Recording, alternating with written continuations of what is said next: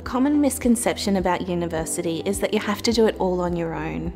You'll be relieved to know that QUT offers a range of support services available to help you succeed. You have access to free coaching and support services within your course and outside of the class, including language and learning, career employability, maths, science and IT, leadership and development, and peer programs. You can find information about all of this and more on the HiQ website.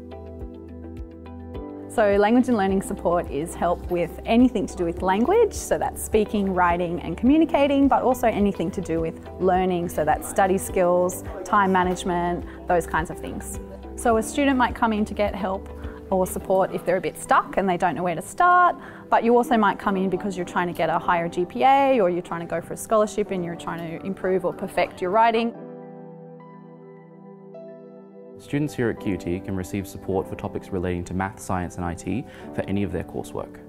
Math Science IT support can help you build your confidence and clarity in areas you're struggling in as part of your degree. You can receive support from a range of our student PLFs and specialist educators. You can receive drop-in support right here in the Learning Hub.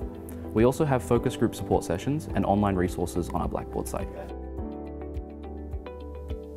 The support we can offer students is anything around career direction, career planning, we can look at job search strategies, uh, we can look at uh, students' resumes and also assist them with uh, how to best network.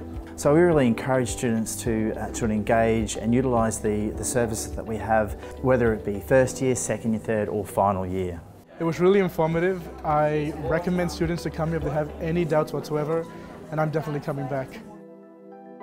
Leadership and development opportunities at QUT are a really great opportunity for you to meet students from outside of your degree, learn about your leadership style and strengths, and also to develop employability skills for the future. We have leadership and development workshops and conferences, and you can find them on the HiQ website. I've gained many skills through the workshops and the various conferences that I've attended. I have also been able to go further in my degree than I thought I would have uh, through just studying and I have met many wonderful people. You'd come along to a leadership and development workshop or conference if you want to build your skills and your networks, if you want to get involved in volunteering on campus uh, and build a learning community where students are helping students all of the time.